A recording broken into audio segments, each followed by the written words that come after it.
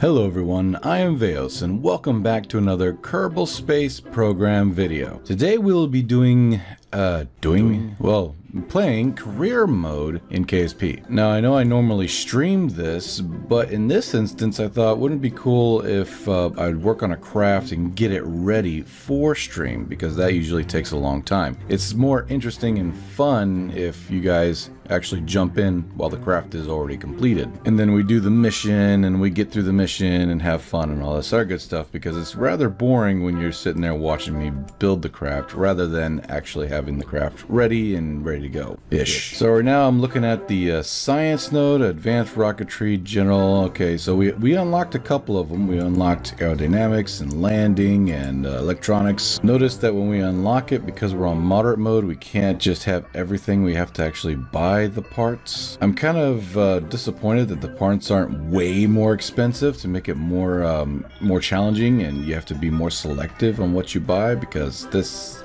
I could literally buy the whole thing and, and, it'd be so cheap. It's not as fun, but it'll, it'll, it'll do. However, with these nodes unlocked, I was able to build a craft that acts like an SSTO to the moon. Well, not, not an SSTO, but a two-staged, at least, I think, maybe. Also, while I was testing out crafts, I was able to put our first satellite into orbit, SATCOM-1. There she is, the first ever satellite in this career mode, SATCOM-1. Uh, notice that it has a solid fuel booster that this was meant to bring the satellite back down to Kerbin after we deemed that we, we didn't need it anymore. Because let's face it, it's the very first satellite ever. And eventually we'll be making better stuff in the future, so it's it's it's kind of you know doomed to be uh, uh, thrown away in uh, a relatively short period of time. But for now, it works ish. Think. Eh. Yes. Well, unfortunately, during recording, I forgot that the game sound was entirely too high. You can barely hear my voice. However, I don't have the time to fix it, so get over it.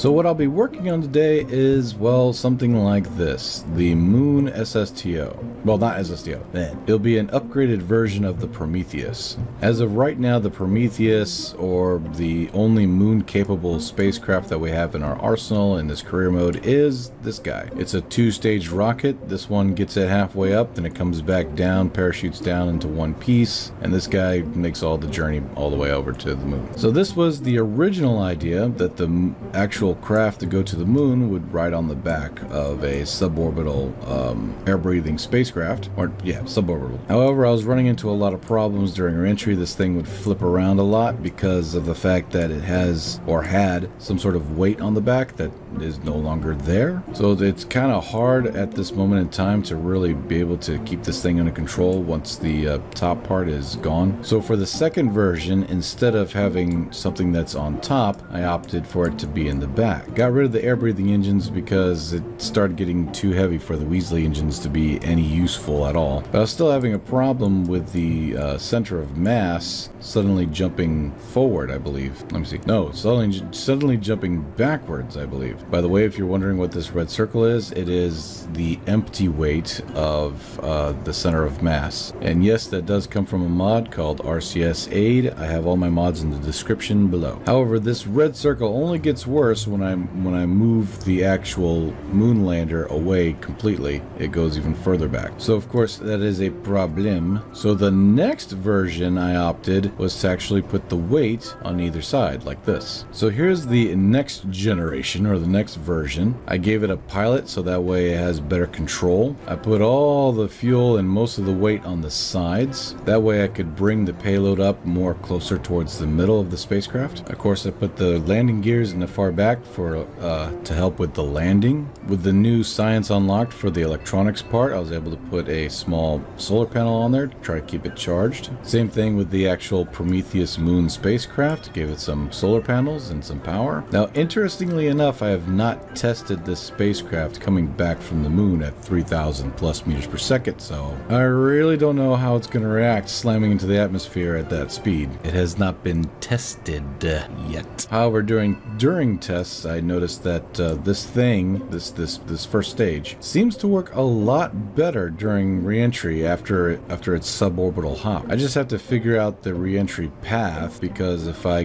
this thing is so wibbly wobbly. Observe once the um, the actual craft is gone, even though it says that the empty weight is over here in front of the center of lift like it's supposed to, it does act a, a little a little unstable. I'm actually thinking about putting maybe some Juno engines on here to, to maybe give it some thrust because while it's in the thinner atmosphere, it, it like I said, it's a little unstable and so I have to sort of nosedive. So that's what we're going to do today. We're going to go ahead and test this thing out one more time and see if we can't get the flight path of the first stage figured out. All right, let's, what the fuck?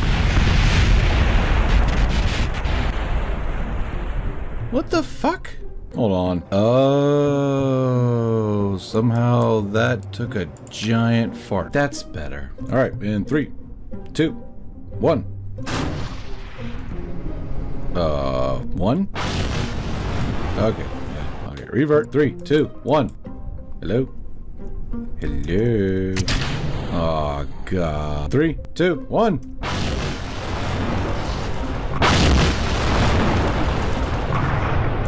Um, there. Okay, this time for sure. In three, two, one.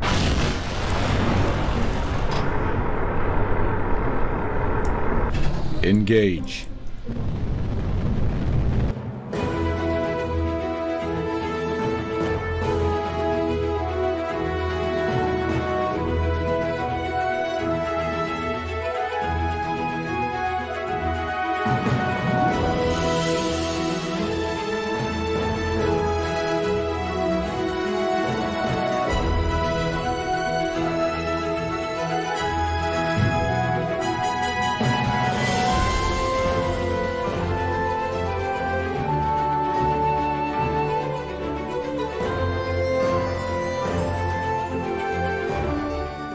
Separating in three, two, one.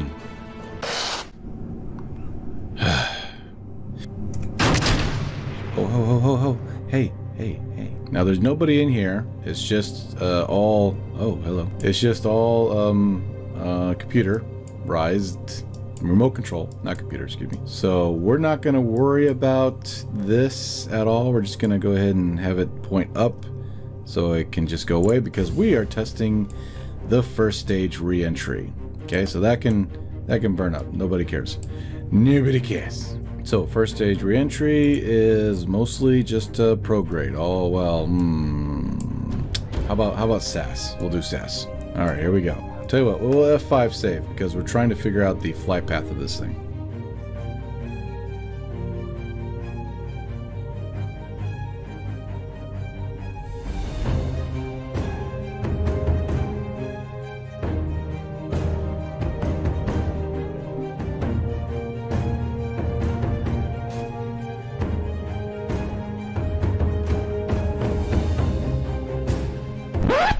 Whoa, whoa, whoa!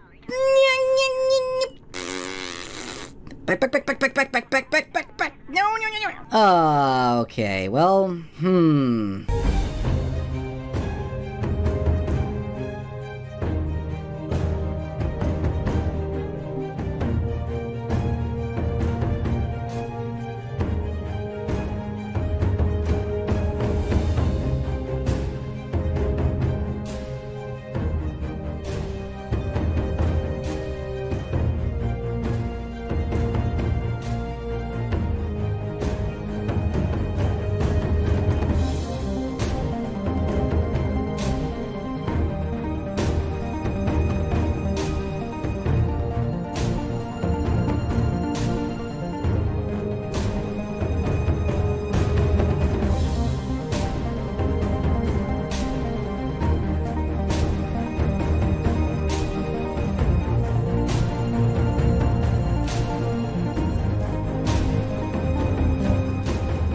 Okay, we're gliding pretty smoothly here. Nice.